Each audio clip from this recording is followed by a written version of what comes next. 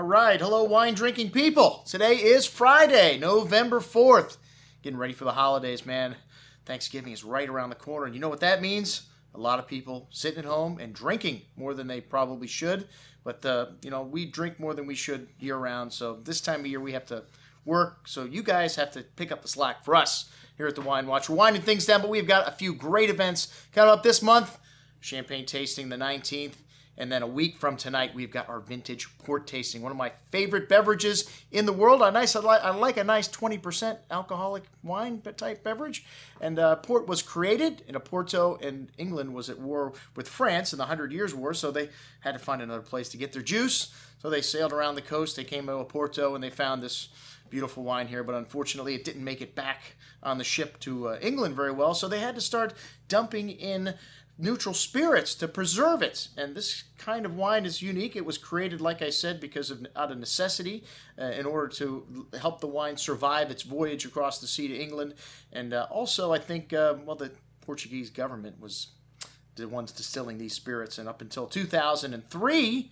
Uh, you had to buy your neutral spirits from the Portuguese government. So, some advances just recently in the world of port, as of 2003, you're allowed to buy these spirits from anywhere. And the spirit is a very important part of what makes port. So the old ports, you know, a lot of times, even in great vintages, you know, if they put just, you know, the spirit wasn't great, maybe it didn't, you know, really add to the quality of that vintage. But we've got some legendary old vintages here. We always show uh, an array of old vintage ports at this event. This year going back to 1937. For those of you not familiar with port, there's a couple different kind of ports. The best value in port, the Ruby port, usually aged for five to six years in these large 100-gallon pipes and blended, uh, blend of several different vintages, and then released uh, and ready to drink on release. Vintage port only a tiny percentage of port goes into vintage port. It's usually only declared three, four times a decade at most, and uh, vintage port is very expensive, $100 a bottle on release. Well, you can find older vintages for much cheaper than the current release a lot of times.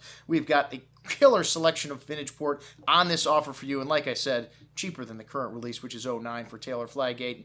And uh, they were the only people that made 09.